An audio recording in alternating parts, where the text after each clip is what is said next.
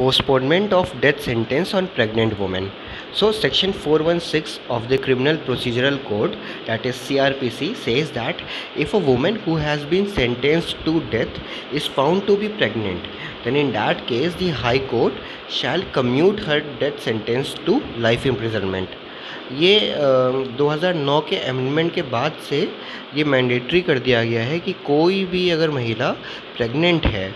और उसे death sentence दिया गया है तो हाई कोर्ट उसकी डेथ पेनल्टी को कम्यूट करके लाइफ इम्प्रिजनमेंट कर देगी। 2009 के पहले क्या था? 2009 के पहले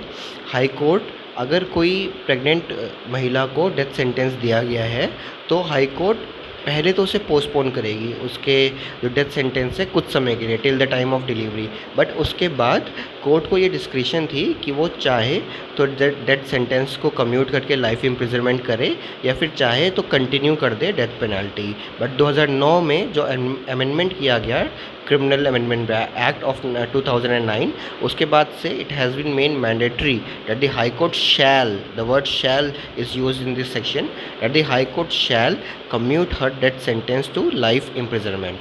Thank you. This is given under section 416 by the way. Thank you.